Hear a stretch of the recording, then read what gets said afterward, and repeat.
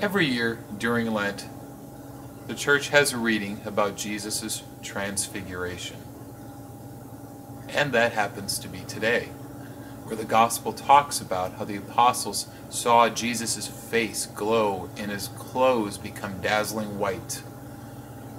Why did Jesus show the apostles this? Well, there are many theologians, people who study religion, who say that he did that to show the apostles what will happen after he is resurrected. After he is resurrected, that he would transfigure and look just like that. Our faith tells us that we will all have our own resurrection after we die. That at some point we will resurrect and our bodies will also become transfigured, just like Jesus. As a priest, there have been many people who have told me that they've had visions where they've been dreaming and have seen their loved ones who have departed come visit them in their dreams. And some of those people have told me that their beloved ones in the dreams seem to appear in a transfigured state. So I suspect that that is transfiguration.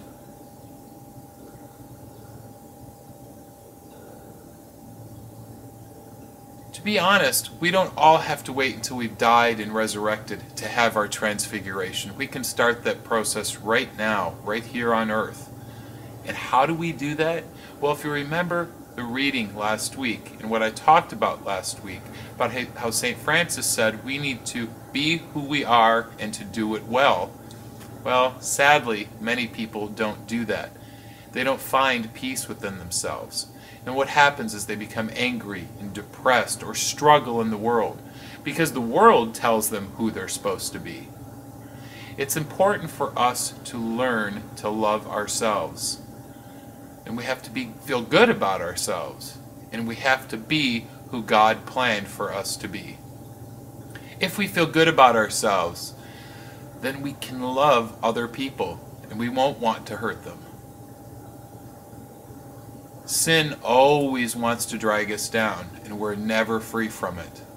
That's why this is a wonderful opportunity for us during Lent to make that break from sin and look at who we are and feel good about ourselves. Feel good and be happy. And when we do that, people will notice that we're much more radiant. If you look at holy people, you'll notice a couple of things about them. They always look happy, and they always have this glow or this radiance about them. That's what I want for us too. Not later, but now. Take advantage of this during Lent. God bless you.